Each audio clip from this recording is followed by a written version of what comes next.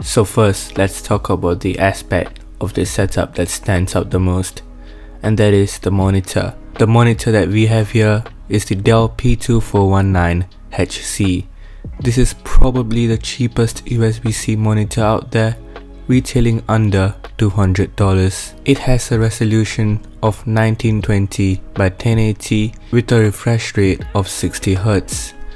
This is more than enough for most use cases and the color reproduction on this monitor is also really good. Overall, I highly recommend this monitor, especially as it's under $200 and I will leave a link down below so you can purchase it at a discount.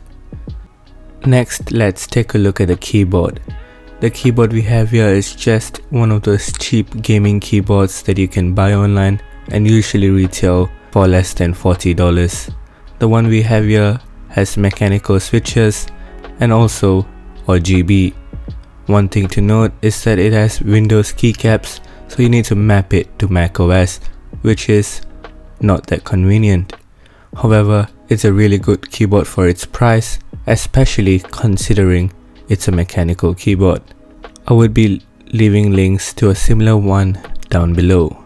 So next, let's look at the mouse. The mouse we have here is the Razer Atheris and it works really well. I got it for about $20 on sale and it's still currently on sale.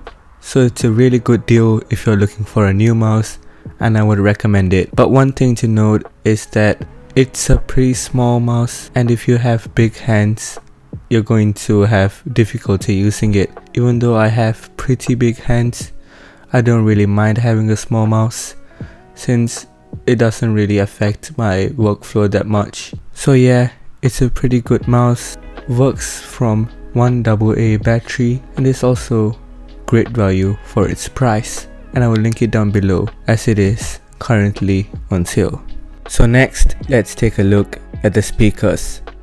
When choosing a speaker to use for my setup, I didn't want normal PC speakers as they are not that compatible with other devices that are not computers. I wanted a speaker that would also work with my phone and also work via Bluetooth. With all these functionalities, I also wanted an affordable speaker and that's exactly what this speaker is. The Anker speaker that I bought off Amazon for about $40 fits all these descriptions and sounds really good too. I connect it to my MacBook via Bluetooth or by headphone jack and it works like a charm.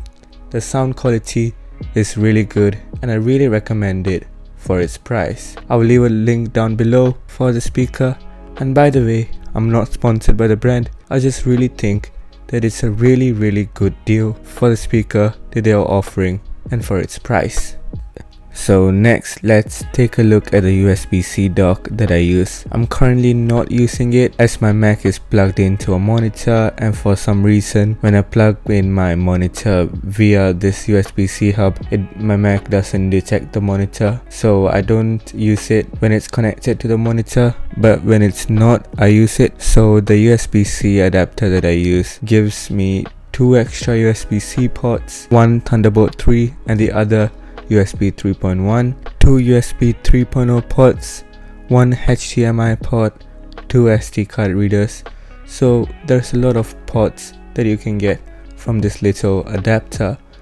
I recommend it as long as you're not going to use it with external monitors since I'm facing a few problems doing that but other than that it's a really great adapter for its price it's really good unless you're going to be using it with an external monitor so finally, let's take a look at what my MacBook is standing on and that's the 12 South Cross stand. The stand retails for about $50 and it's really good. Apple sells it on their own website so that's one way to know that it's a really good product. The stand is really sturdy and does not wobble when you're typing on your MacBook while it's on the stand. So if you want to have a dual monitor setup with your MacBook screen, I would recommend buying this stand as it's really sturdy and does not wobble and also comes at a pretty decent price. You could get cheaper variations on Amazon, but I don't really recommend them as a lot of them are not that sturdy and would wobble to type on the MacBook while it's on the stand. Last but not the least, let's talk about the external SSD that I use with my MacBook. The external SSD that I use is the SanDisk Extreme Portable and it's really good.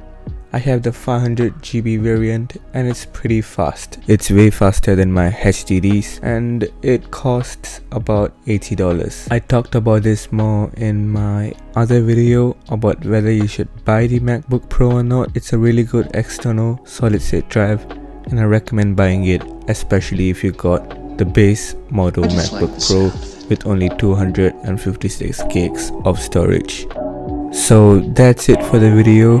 I hope it helped you out and if it did, like the video and if you want more videos on the new MacBook Pro, make sure to subscribe. That's it for this video and I'll see you in another one.